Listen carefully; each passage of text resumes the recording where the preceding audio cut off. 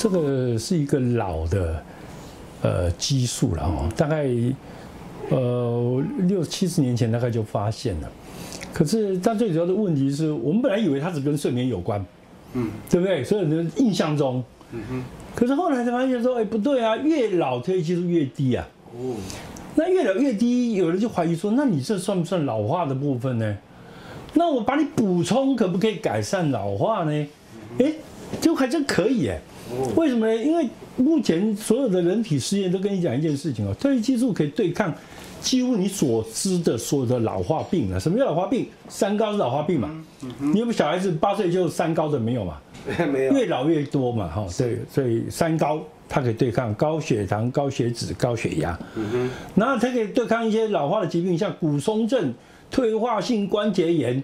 还有胆囊老化造成的胃口不佳，因为你这个胆囊老化，你就没办法收缩，不能挤出胆汁，所以你吃油的东西就消化不良，所以老人家就越来越瘦，因为他营养不良，因为他消化不了食物，甚至于它可以应付对抗我们以前没有任何药物提过的，它可以对抗各种身体的纤维化，嗯，譬如说它对抗新冠肺炎引起的肺纤维化。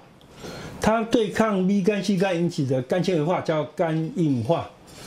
它也对抗你开完肚子之后呢，肠粘连，那个是肠子纤维化。是。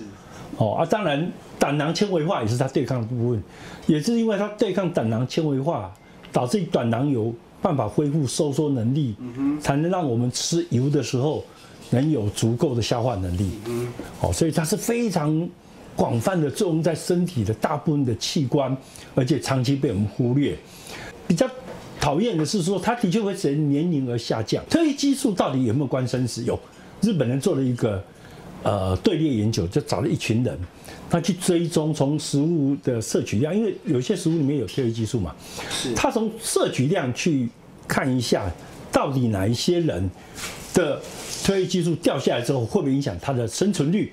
答案是会的哦，所以你褪黑激素摄取的越低，因为你越老自己就不够嘛，对啊，那你摄取又不够，这些人就死得快，哦，所以对我来讲，只要影响到存活率的，都值得重视。医疗上最终就是生死、生活品质跟住院率这三个才是硬指标。是，那其他什么肿瘤大小啦、血脂高低啦、血糖高低啦，其实相对来讲都没那么重要。对我肾脏科医，为什么会研究这个东西？因为我们肾脏有一些疾病，我们是无法治疗的。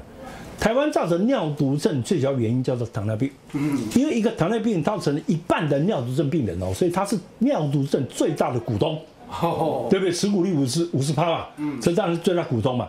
可是目前大家也都知道，糖尿病肾病变是不可能根治的，哦，它随着蛋白的增加，它最后就走到尿毒症这一条路。是，可在研究里面就发现，哎，褪黑激素可以对抗糖尿病肾病变。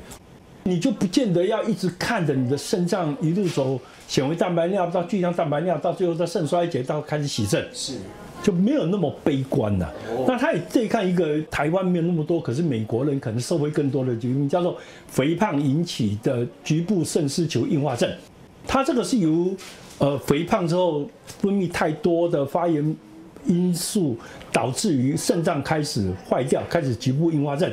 以前在美国，如果碰到这种情形，大概能祈求的就是减肥啦，或者是把胃割掉啦，哦，看看能不能降低他的肥胖，然后能缓解他的局部肾失去硬化症。然后来发现褪黑激素也可以对抗它，让他肾脏不要再继续的恶化发炎蛋白尿，它有降低体重的效果。当然也不要太夸张，大概两公斤左右了哈。